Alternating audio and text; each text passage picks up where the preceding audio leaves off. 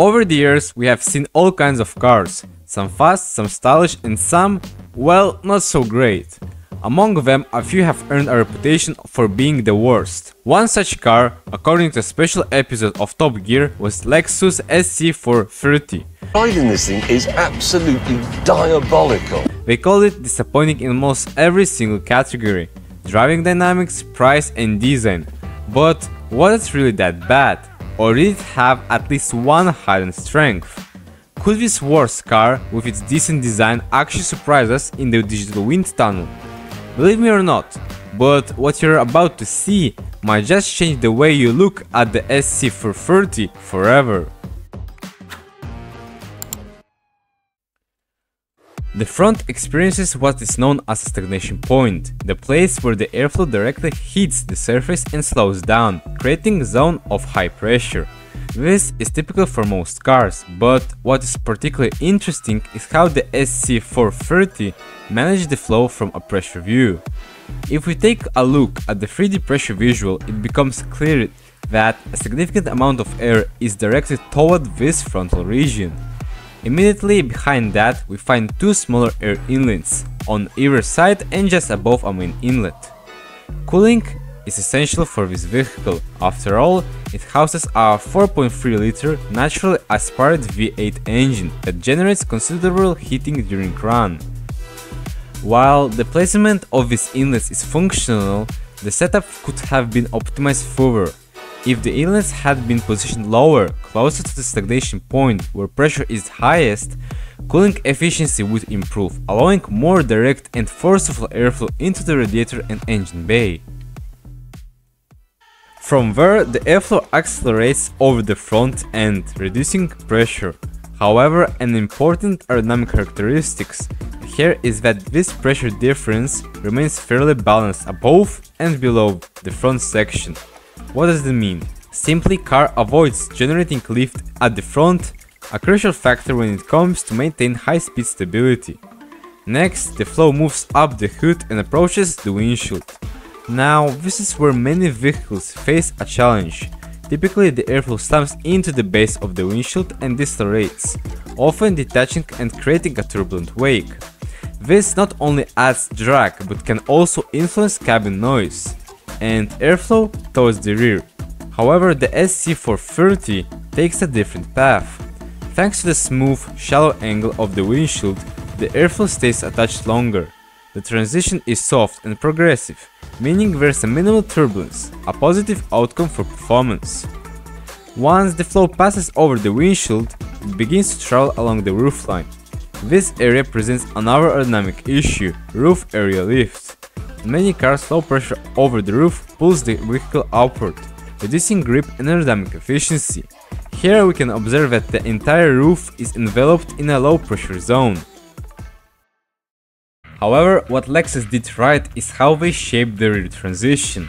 On most cars the flow detaches violently at the rear window or trunk edge, forming a large separation bubble and increasing drag, but the SC430 features a remarkably smooth roof to trunk curve. As a result, the airflow stays mostly attached. In the friction visual, we notice a small separation zone, but crucially it reattaches later on. That reattachment plays a key role in reducing overall drag and turbulence. What is also worth noting is that visually the SC430 doesn't appear to rely on any conventional aerodynamic tools. There are no front splitters, vortex generators or rear wings. However, a closer look reveals a functional rear spoiler integrated into the trunk line. Now, adding aerodynamic components such as wings or spoilers isn't just about look, it's about making them effective. In other words, they must be positioned in a way that exposes them to high energy clean airflow. Without that, they won't generate meaningful downforce. In this case, the smooth rear end design helps retain airflow energy. There is no major separation before the spoiler, meaning it faces strong pressure buildup, and that is exactly what we want. The spoiler is small, nothing like a Porsche 911's, but it's utterly functional. Of course, we must keep in mind that this isn't a racing car. The SC430 is a luxury Grand Tourer, elegance take a priority over extreme air performance. Still, the spoiler's performance shows that Lexus engineers paid attention to aero performance. And if you would like to find out how your own vehicle performs aerodynamically, head over to osaerolab.com and send us a request. We'll take a deep look at your car performance and investigate it, how aerodynamic it really is, leaving you with a full report and analysis. Let's turn to the rear diffuser. A diffuser is meant to expand airflow and accelerate it underneath the car, reducing pressure and enhancing ground effect. While the SC430 features a diffuser, it's not the most efficient design. The sharp edges suggest an attempt at performance, but unfortunately the exhaust outlets interrupt the flow. They are positioned directly in the path of exiting air, blocking it right at the moment it should be expanding and accelerating outward. This reduces the effectiveness of the diffuser, as we can see from the airflow exiting more horizontally than outward. However, this design compromise may have been influenced by practical considerations, most likely packaging. The SC430's trunk is small and when the convertible roof is stowed, it's even smaller. It's possible the exhaust placement was a trade-off to make more usable space in the rear. Still, despite the drawback, the wake behind the car remains small and controlled. This is a strong indicator of a well-designed shape. Now let's shift our focus to the wheels. In recent years we have seen a rise in the use of aero-optimized rims, especially Teslas or even Formula 1.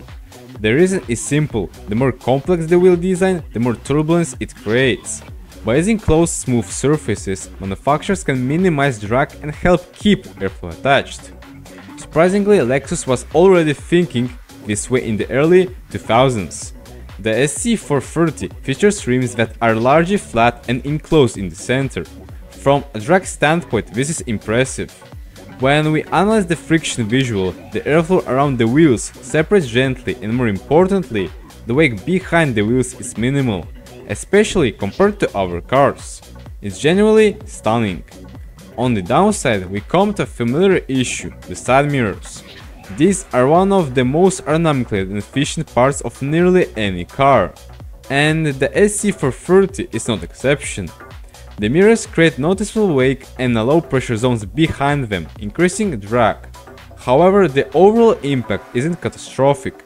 More importantly, the pillars which frame the windows of the car are smooth, rounded and well integrated. This helps prevent separation and keeps airflow stable along the sides of the car. That's another smart design choice from Lexus engineers.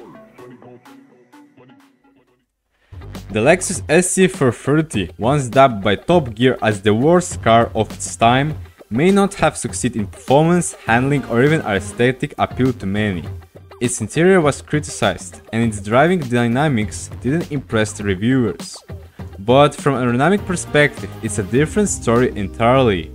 The SC430 features a clean flowing shape with minimal separation zones, Many modern designers, especially in the Grand Touring segment, could take a few notes from how this car manages airflow.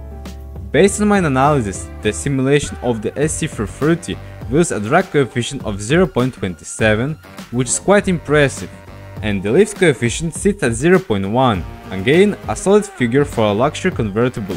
While it doesn't produce significant downforce, that is not its purpose.